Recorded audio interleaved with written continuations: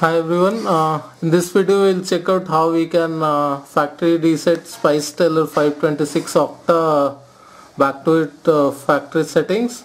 Uh, as usual with any other Android smartphone, we for the, doing that uh, you need to just go to settings. You can go to settings by just swiping from the top like this and he, uh, by clicking this icon you'll find the settings gear icon here. Just click on this settings. In the settings under the personal uh, option you have a backup and reset option. Just click on that.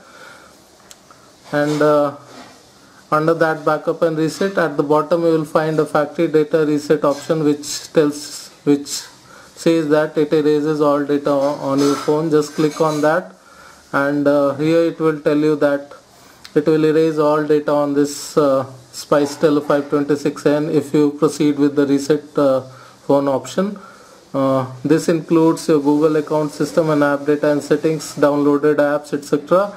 Uh, if you're sure you want to do that, just click on reset phone.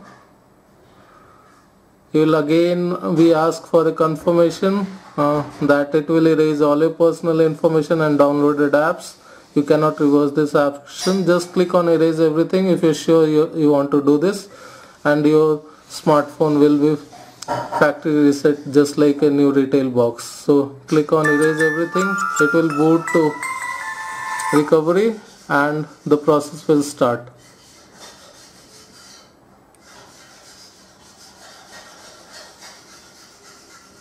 The amount of time which this uh, resetting option takes depends on how much data you have. Here you can see the android robot spinning and it's almost done.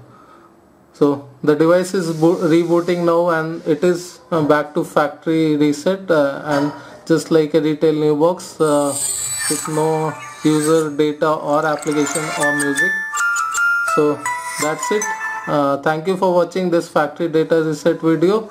Uh, we will be back soon with another one. Thank you